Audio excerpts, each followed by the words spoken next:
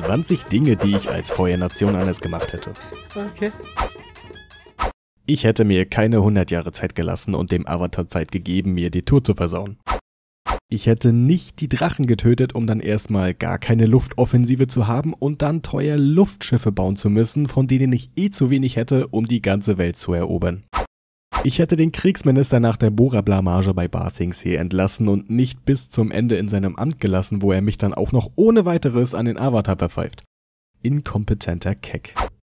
Ich hätte keiner 14-Jährigen das Kommando über eine Invasion gegeben. Sie ist 14 und offensichtlich psychisch nicht so ganz knorke. No lighting today? Ich hätte einfach Sandbändige gefragt, ob sie die Mauer von Ba Sing Se einreißen und damit Geld für den Bohrer gespart. Ich meine, fünf oder sechs Dailies haben gereicht. Warum so umständlich? Ich hätte den Südpol eingenommen, als klar war, dass gar keine Krieger mehr da sind. GGEs outplayed. Bitch. Ich hätte die leerstehenden Lufttempel als strategische Stützpunkte genutzt, statt sie unnütz vergammeln zu lassen. Die Position auf der Karte wäre Gold wert gewesen. Ich hätte viel früher versucht, den nördlichen Wasserstamm zu erobern. Seid halt einfach nicht so doof und marschiert bei Vollmond da rein und lasst euch 100 Jahre Zeit, ihr Idioten. Ich hätte die Hauptstadt mit den Bruh. wichtigsten Leuten des Landes nicht auf einem aktiven Vulkan gebaut. Oh Mann. Ich hätte nicht zugelassen, dass meine Admiräle den Mondfisch für ihr eigenes Ego töten, obwohl das einfach sau dumm ist. Ich hätte den Idioten eh schon entlassen, nachdem er selbst seine eigenen Schiffe versenkt hat, weil er sich nicht unter Kontrolle hatte. Ich hätte Zhao auch verboten, Iro wieder als General aufzunehmen. Bei einem Sieg am Nordpol hätte er als potenzieller Held zurückkehren und den Thron streitig machen können. Meine Fische, die müssen noch Milch. Ich hätte nach Lutens Tod einfach einen anderen General an die Front geschickt, statt einen Sieg zu verschenken. Ich hätte schon viel früher versucht, das Erdkönigreich undercover zu infiltrieren. Wieso kommt dann nach 100 Jahren eigentlich erst eine psychisch labile 14-Jährige drauf?